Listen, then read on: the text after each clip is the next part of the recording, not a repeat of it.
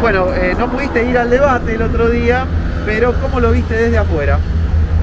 Bueno, ¿qué tal Hernán? ¿Cómo te va? Buenas tardes. Eh, sí, la verdad que no, porque tuve un problema de salud, tuve una semana en cama. Eh, bueno, dentro de todo, bastante bien. Me pareció a lo mejor que más que un debate era una presentación de proyectos, por lo cual este, los compañeros que me representaron, los que siguen en la lista, este, definieron muy bien los proyectos nuestros que, que son los que queremos aportar si llegamos al Consejo Deliberante. ¿Y cómo viste a los demás candidatos? ¿Qué, qué notaste en cuanto al tema propositivo?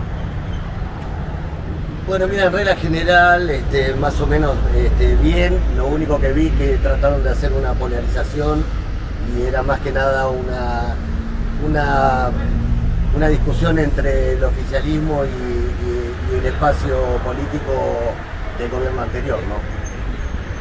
¿Qué es lo que, eh, lo que pudiste ver en los barrios en estos días? Son una, una, una de las que tratan de ser la tercera fuerza. ¿Crees que puede llegar una tercera fuerza en el marco de esta polarización a una concejalía? Porque, por ejemplo, tendrían que más que duplicar el resultado de las pasos.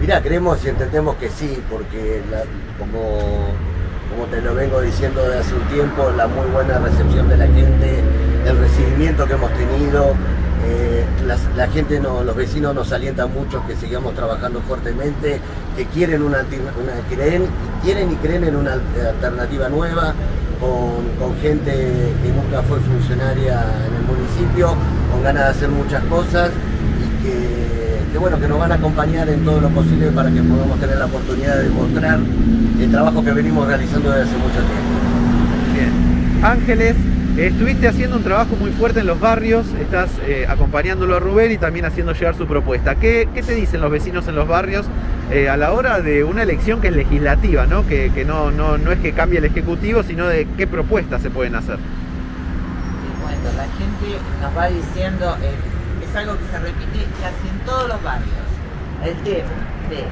eh, seguridad, iluminación, el acceso a las calles, eh, bueno, hay gente que ni luz tiene y tiene que estar enganchada porque no pasa el tema de, de la prestataria de Denor que no, no les presta un servicio directamente porque no tienen nada, por lo, por lo tanto tampoco tienen agua.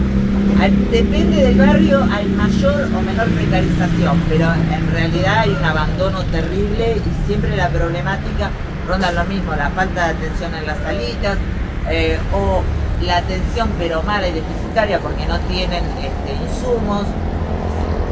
En todos los barrios que recorrimos es eh, siempre lo mismo, o siempre la misma problemática. Alguna en mayor medida y otra en menor, pero siempre se habla de lo mismo. ¿Qué crees que le puede aportar eh, Rubén Blanco al próximo Consejo Deliberante, eh, pudiendo, si puede romper este, esta división de dos fuerzas, ¿no? Y yo creo que puede romper esta polarización, puede ser la tercera fuerza. Creo que es una persona de trabajo, eh, que ya viene trabajando y que, como digo siempre, ha demostrado con trabajo que se puede mejorar. Y es alguien que conoce el territorio, que baja a los barrios, que mira lo que le pasa a los vecinos, los escucha y eso lo puede plasmar en el Consejo Deliberante. Eh, ¿Qué expectativa tienen para el, el día domingo? ¿Hay un número que tengan en la cabeza de digan o es hay que llegar al Consejo Deliberante, hay que llegar al, al 10% famoso que se pide ¿no? para una banca? No, mirá, la expectativa nuestra es tratar de que ingresemos la mayor cantidad posible de compañeros este, para poder trabajar en equipo, para poder eh, presentar buenos proyectos acompañando con los vecinos. Y, cuando te hablo de armar proyectos con los vecinos es eso, bajar a los barrios, eh, charlar con los vecinos y armar los proyectos desde el barrio, porque quién mejor que los vecinos no conocen la necesidad de cada barrio del distrito.